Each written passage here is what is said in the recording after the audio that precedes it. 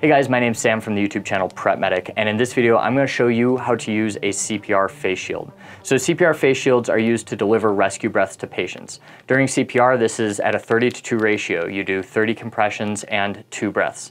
In the case where somebody is apneic, they've stopped breathing for a multitude of different reasons, this will be one breath every six seconds. When you deliver a breath, the breath should be over one second and you should stop breathing for them when you see chest rise. Now, to actually use one of these shields and why you'd want to use one of these shields, this will protect you from communicable diseases. You can absolutely do mouth-to-mouth -mouth respirations for a patient without one of these. However, it leaves you open to a lot of different communicable diseases, and in this day and age, that's a risk you do not want to take.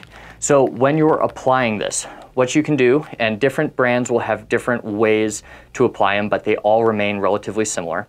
This one here, we're gonna take the plastic, we're gonna lay it over the patient's face. This has a one-way valve and that should be positioned at the center of the patient's mouth. We're going to take, in this case, both ear loops, put them around the patient's ear to keep it in place. And then we're gonna take our left hand and our right hand. Left hand should be positioned on the patient's forehead. Right hand should be positioned under the chin. And you're gonna do what's called a head tilt chin lift. So you're gonna pull the head back slightly. You wanna use caution and fall back on your training if you suspect a spinal injury.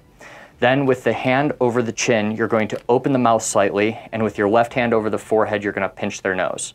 You can go down with an open mouth and you're gonna deliver your rescue breaths. Like I said before, if it's during CPR, you're gonna do two rescue breaths in relatively rapid succession. If it is apnea, they're not breathing, then we're gonna give one breath every six seconds-ish. The time to get familiar with these devices is not when you're in the middle of an emergency. So if you are buying a CPR face shield, I'd recommend trying to pick up two, just so you can take one out of the packaging, get familiar with its use before you actually have to use it in the real world. For more motorcycle related first aid content, check out the other videos in this series.